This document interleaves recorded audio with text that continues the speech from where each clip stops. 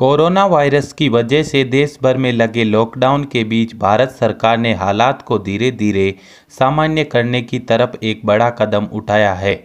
भारत सरकार ने फैसला किया है कि रेल यात्रा धीरे धीरे शुरू कर दी जाएगी।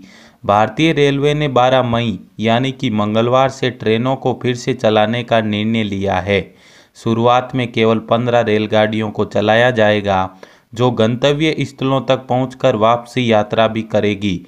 टिकटों की बिक्री 11 मई यानी सोमवार शाम चार बजे से होगी। रेल मंत्रालय की ओर से जारी प्रेस रिलीज़ में ये जानकारियाँ दी गई है।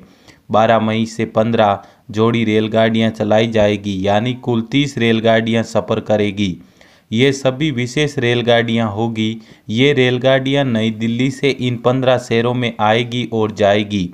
दिल्ली से पटना, दिल्ली से रांची, दिल्ली से हावड़ा दिल्ली से डिब्रूगढ़ दिल्ली से अगरतला दिल्ली से बिलासपुर दिल्ली से भुवनेश्वर दिल्ली से सिकंदराबाद दिल्ली से बेंगलुरु दिल्ली से चेन्नई दिल्ली से तिरुवनंतपुरम दिल्ली से मंडगांव दिल्ली से मुंबई सेंट्रल दिल्ली से अहमदाबाद और दिल्ली से जम्मू तवी ये सारी रेलगाड़ियाँ वापसी यात्रा भी करेगी 11 मई को शाम चार बजे से टिकटों की बुकिंग शुरू होगी, लेकिन टिकट खिड़कियाँ नहीं खुलेगी।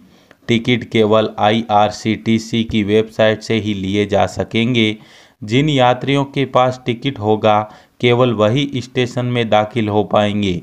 यात्रियों को मास्क लगाना होगा।